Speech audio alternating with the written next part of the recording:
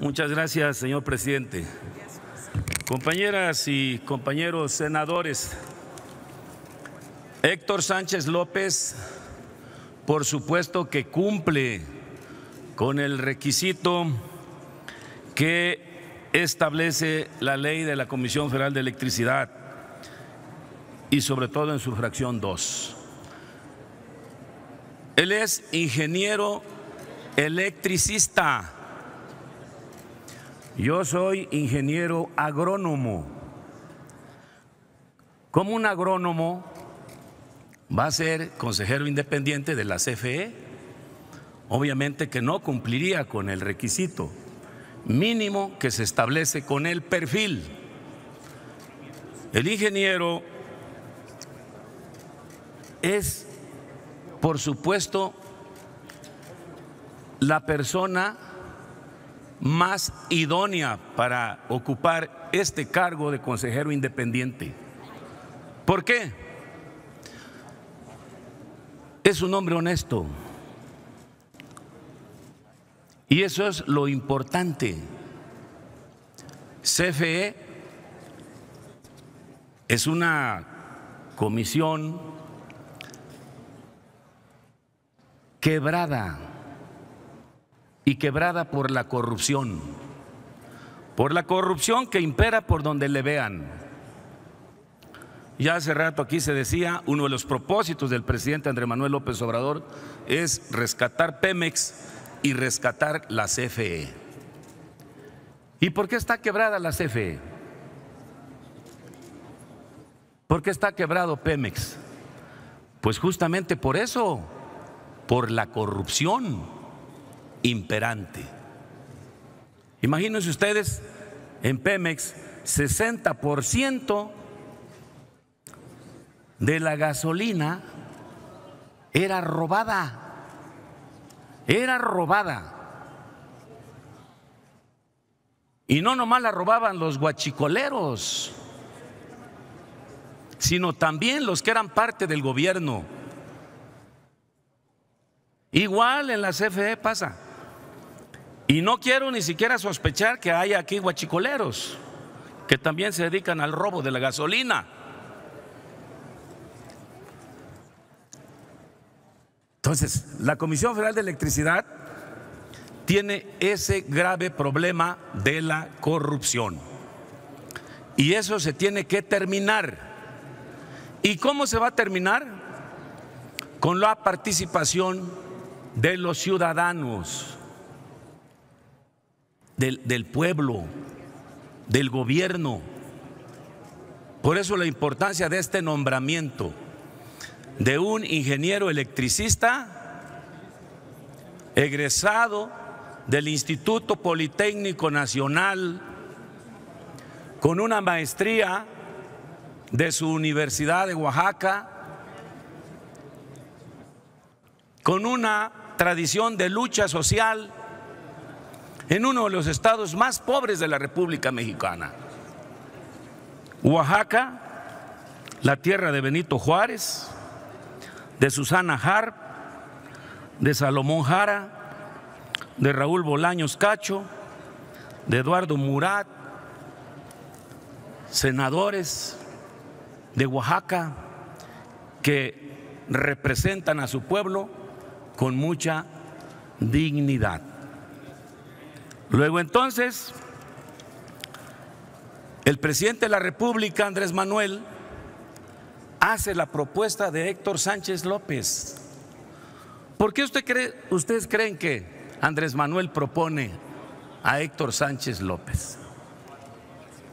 Porque son amigos, ¿por, ¿por qué? Porque son compadres, ¿por qué? ¿Eh? Eso se hacía antes en el periodo del PAN y del PRI. Puros amigos, puros compadres, inservibles. Ahí está Fox, ahí está Calderón, uno y otro tapándose sus porquerías. Entonces lo propone porque es una persona eficiente, sabe, conoce, pero además es una persona honesta, que eso es lo primordial en esta propuesta, la honestidad. Ya se revisó el expediente de Héctor Sánchez López, ahí lo dice el dictamen, y no se le encontró nada que tenga antecedentes penales. Eso es más que importante. ¿Cómo va entonces a superarse la crisis financiera que tiene la CFE si vamos a, seguir teniendo consejeros a modo de la corrupción? Así nunca vamos a, a sanear un organismo. Por eso el nombramiento de Héctor Sánchez López es para acabar con la corrupción, con los privilegios. Son cuatro consejeros externos. Y a propuesta del presidente, aquí se eligen. Hoy vamos a nombrar a uno,